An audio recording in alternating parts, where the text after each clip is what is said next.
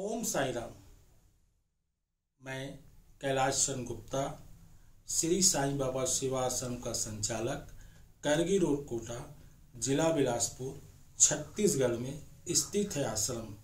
हर गुरुवार को आश्रम में भव्य दरबार लगता है और बाबा का चमत्कार होता है और बहुत से भक्तों की मनोकामनाएँ पूरी होती है। नगर की अच्छे परिवार की दो तीन लड़कियाँ आश्रम में आए थे और उन्होंने कहा कि गुरुजी, हमारा विवाह नहीं हो रहा है। हमने विवाह रोकथाम के लिए पिताजी ने बहुत सा पूजा पाठ हम आदि संपन्न कराया है। आप हमें कोई उपाय बताइए जिससे हमारा शीघ्र विवाह हो जाए?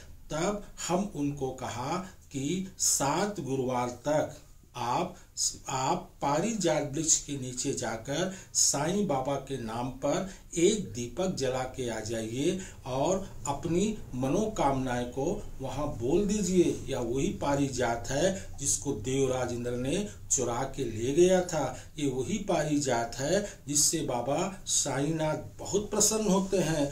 अगर आपके विवाह में बाधा है तो सात गुरुवार तक आप किसी भी तेल का, घी का एक दीपक अगर पारिजात वृक्ष के नीचे जला कर आते हैं और अपनी मनोकामनाएँ बोलते हैं तो सौ परसेंट आपकी मनोकामना पूरी होगी। उन बच्चों ने यह उपाय किया और उपाय करने के बाद उनका सात गुरुवार के बाद साईं बाबा की कृपा से अच्छे घर में घर बैठे रिश्ता आ गया।